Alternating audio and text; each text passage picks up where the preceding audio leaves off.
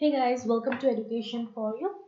Guys, এই ভিডিঅ'টোৰ জৰিয়তে আমি যি আপোনালোকৰ মেথছৰ চিলেবাছত দিয়া আছে জামিট্ৰি জামিট্ৰিৰ যিখিনি এৰিয়া এণ্ড পেৰিমিটাৰ আছে ঠিক আছে কালি আৰু পৰিসীমাৰ গোটেইকেইটা সূত্ৰ আমি এই ভিডিঅ'টোৰ জৰিয়তে আলোচনা কৰিম সূত্ৰৰ জৰিয়তে আপোনালোক গোটেইখিনি সূত্ৰ একেলগে দি দিম যাতে যিকোনো এটা মানে যিকোনো এটা টাইপছ অফ শ্বেপছৰে যিকোনো প্ৰশ্ন আহিলেই তাৰ পৰা এৰিয়া পেৰিমিটাৰৰ প্ৰশ্ন আহিলে আপোনালোকে কৰিব পাৰে।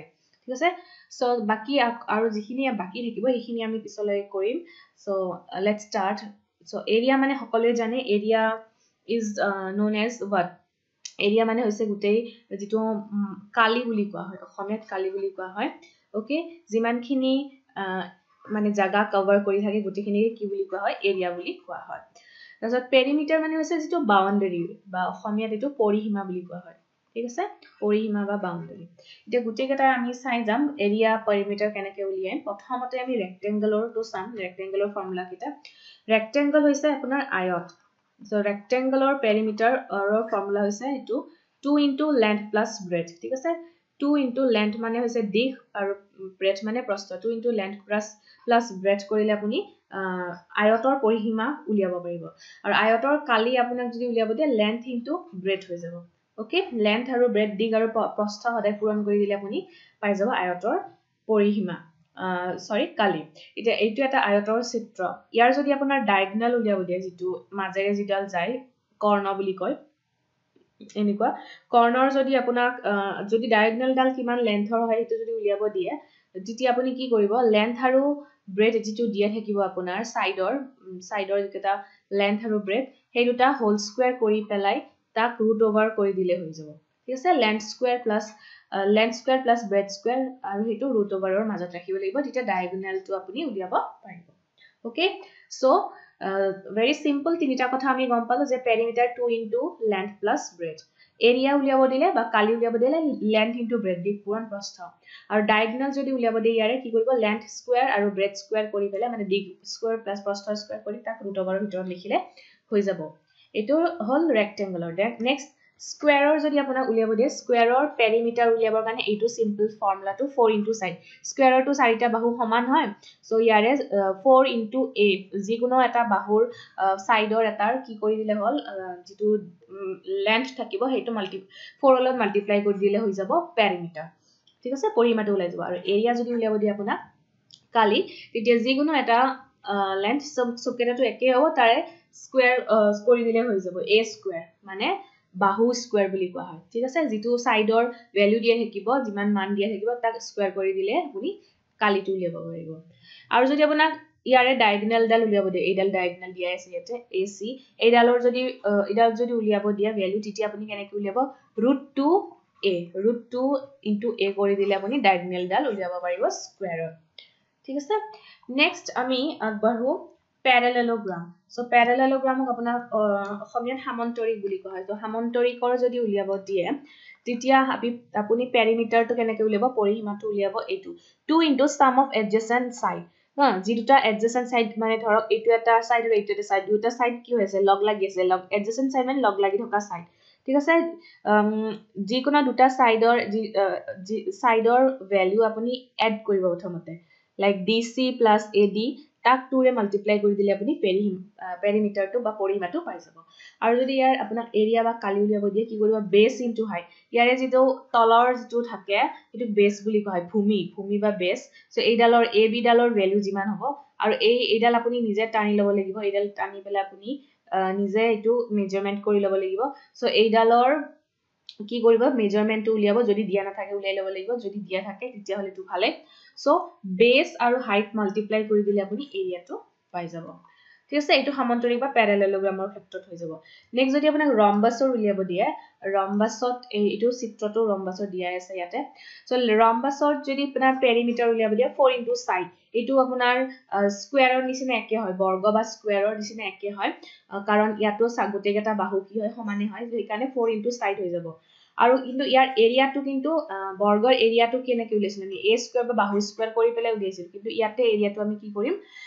ইয়াৰে যিকেইডাল ডায়েগনেল কৰ্ণ বুলি কয় লাইক এইডাল এডাল ডায়েগনেল ডি ওৱান আৰু এইডাল এডাল ডি টু এই দুডালৰ মাল্টিপ্লাই কৰিব প্ৰথমতে আপুনি ডায়েগনাল এইডাল ডি ওৱান আৰু ডি টুৰ যিটো ভেলু থাকে সেইটো মাল্টিপ্লাই কৰি তাক হাফেৰে ডিভাইড কৰি দিলে কি হৈ যাব? এৰিয়াটো আপুনি মানে টুৰে ডিভাইড কৰিলে আপুনি এৰিয়াটো পাই যাব। ঠিক আছে? আৰু যদি ইয়াৰ এটা ছাইড আপোনাক উলিয়াব দিয়ে ছাইডটো কিমান আছে? তেতিয়া আৰু আপোনাক যদি এইকেইটা দিয়া আছে ডি ওৱান আৰু ডি টু দিয়া আছে সেইকেইটা আপুনি হোল স্কুৱেৰ কৰি দিয়ক। D one square plus D two square তাক ৰুট অভাৰৰ ভিতৰত ৰাখি হাফেৰে মাল্টিপ্লাই কৰি দিলে। ছাইডটো পাই যাব অ'কে চ' এই ফৰ্মুলাবিলাক আপোনালোকে যদি মনত নাথাকে এবাৰ আপোনালোকে আৰু ভালদৰে লিখি চাওক দুই তিনিবাৰ চাৰিবাৰমান লিখাৰ পিছত আপোনাৰ ফৰ্মুলাকেইটা একেবাৰে মনত থাকি যাব। প্ৰথমতে এবাৰ টান লাগিব তাৰপিছত একদম ইজি হৈ যায়। তাৰপিছত ট্ৰেপিজিয়ামৰ যদি উলিয়াব দিয়ে তেতিয়াহ'লে কেনেকৈ উলিয়াব? ট্ৰেপিজিয়ামৰ এৰিয়াটো আপুনি কেনেকৈ উলিয়াব? Half into sum of parallel side parallel side কোন দুটা সমান্তৰাল বাহু এইডাল আৰু এইডাল পেৰেলেল হৈছে এ বি আৰু ডি চি পেৰেলেল হৈছে। চ' এ বি আৰু ডি চিৰ ভেলু আপুনি কি কৰিব লাগিব? প্লাছ কৰিব লাগিব। A B plus D C তাৰপিছত আকৌ distance between distance between them ইহঁতৰ মাজত যিটো ডিষ্টেঞ্চ আছে চ' এই পেৰেলেল চাইড দুটাৰ মাজত ডিষ্টেঞ্চ কিমান আছে? এইখিনি। এইখিনি ডিষ্টেঞ্চ হয় হয়নে? এইচ চ' এই ডিষ্টেঞ্চটো কি কৰিব? মাল্টিপ্লাই কৰিব। হাফ ইনটু এইখিনি। A B plus D C কৰিব। A B plus D C তাৰপিছত ইয়াৰ যিটো হাইট হয় সেইটো মাল্টিপ্লাই কৰি দিলে আপুনি ইয়াৰে ট্ৰেপিজিয়ামৰ এৰিয়া পাই যাব। অ'কে চ' এনেকুৱাকে আমি উলিয়াব পাৰোঁ। অ'কে চ' ঠিক আছে নেক্সট আপোনাৰ ইয়াতে যদি উলিয়াব দিয়ে আপোনাৰ ট্ৰায়েংগলৰ যদি উলিয়াব দিয়ে তেতিয়া আপোনাৰ বা ত্ৰিভুজৰ যদি উলিয়াব দিলে এইটো আপোনাৰ ৰাইট ৰাইট এংগল ট্ৰায়েংগল মানে সমকণি ত্ৰিভুজ। সমকণি ত্ৰিভুজ যেতিয়া হ'ব ৰাইট এংগল ট্ৰায়েংগলৰ তেতিয়া আপুনি কেনেকৈ উলিয়াব? Area half into base into height ঠিক আছে? হাফ দিব তাৰপিছত বেছডাল যিমান আছে সেইটো লিখিব আৰু ইয়াৰ হাইটটো যিমান হয় সেইটোৰ ভেলুটো মাল্টিপ্লাই কৰি দিলে আপুনি সমকণি ত্ৰিভুজৰ কি পাৰিব? পাব ৰাইট এংগল ট্ৰায়েংগলৰ এৰিয়াটো পাই যাব। তাৰপিছত যদি ত্ৰিভুজটো কি হয় স্কেলেন ট্ৰায়েংগল হয় স্কেলেন মানে S C A L E N scalene মানে আপোনাৰ বিষম বাহু মানে এটা বাহু যদি সমান নহয় বিষম বাহু হয় তেতিয়া আপুনি এইটো ফৰ্মুলা ইউজ কৰিব লাগিব root over S into S minus A S minus B S minus C এইটো ফৰ্মুলা ইউজ কৰিব এৰিয়া উলিয়াবৰ কাৰণে। ঠিক আছে ইয়াত এছৰ ভেলুটো কেনেকৈ পাব আপুনি? যিকেইটা দিয়া থাকে চাইড লাইক এইটো যদি এ বি চি দিয়া আছে এইকেইটা গোটেইকেইটা প্লাছ কৰিব এ প্লাছ বি প্লাছ চিৰ ভেলু গোটেই প্লাছ কৰি টুৰে ডিভাইড কৰিলে আপুনি এছৰ ভেলুটো পাব। সেইটো ছেমি পেৰিমিটাৰ বুলি কয়। আৰু সেই এছটো আপুনি ইয়াতে এছৰ ভেলুটো আপুনি ইয়াতে পুট কৰিব লাগিব। আৰু এছৰ পৰা এনেকৈ এৰ ভেলু মাইনাছ এবাৰ বিৰ ভেলু মাইনাছ এবাৰ চি ভেলু মাইনাছ কৰি পেলাই ইয়াক ৰুট অভাৰৰ ভিতৰত ৰাখি পেলাই মাল্টিপ্লাই কৰি দিলে আপুনি কাৰেক্ট এনচাৰটো পাই যাব। অ'কে নেক্সটটো যদি হৈছে নেক্সট হৈছে আপোনাৰ আইচোচলেছ ট্ৰাইংগল আইচোচলেছ ট্ৰাইংগল মানে হৈছে আপোনাৰ যিটো সমদ্বি বাহু সমদ্বি বাহু ত্ৰিভুজ মানে দুটা বাহু সমান two two sides are equal like এইটো আৰু এইটো ছেইম ডি বি দি আছে তাৰমানে দুটা চাইড ইকুৱেল বাকী এইটো আনইকুৱেল হয়। ঠিক আছে? এনেকুৱা যদি পেৰিমিটাৰ উলিয়াব দিয়ে তেতিয়া আপুনি কি কৰিব এ প্লাছ টু বি এইটোৰ লগত এই দুটা কি কৰিব প্লাছ কৰি দিলে হ'ল। এই দুটাৰ ভেলু মাল্টিপ্লাই কৰি পেলাই প্লাছ কৰি দিলে হ'ল। বি এই দুটাটো ছেইম হ'ব হয়নে? চ' এনেকৈও ওলাব পাৰে A plus B plus B তাৰমানে বি প্লাছ বি মানে কি হয়? Twice B A plus twice B হ'ব পেৰিমিটাৰ আৰু এৰিয়া যদি উলিয়াব দিয়ে এইটো ফৰ্মুলা হ'ব। S minus B root over S into S minus A okay আৰু যদি আপোনাৰ ত্ৰিভুজটো কি হয় ইকুইলেটাৰেল হ'ল। গোটেইকেইটা যদি আপোনাৰ চাইড ইকুৱেল হয় ইকুইলেটাৰেল হয় তেতিয়া আপোনাৰ কি হ'ব? পেৰিমিটাৰ উলিয়াবলৈ থ্ৰী ইনটু চাইড যিহেতু গোটেইকেইটা চাইড সমান চ' থ্ৰী ইনটু চাইড হ'ব পেৰিমিটাৰ আৰু এৰিয়া যদি উলিয়াবলৈ root root three divided by four side square ঠিক আছে? যিটো বাহু দিয়া থাকে তাক স্কুৱেৰ কৰি দিলে হ'ল ৰুট থ্ৰী বাই ফ'ৰ অলপ মাল্টিপ্লাই কৰে। আৰু ইয়াৰ যদি অল্টিটিউড উলিয়াব দিয়ে এইডালক অল্টিটিউড বুলি কয় বা উন্নতি সেইডালক root three by two side কৰি দিলে হৈ যাব।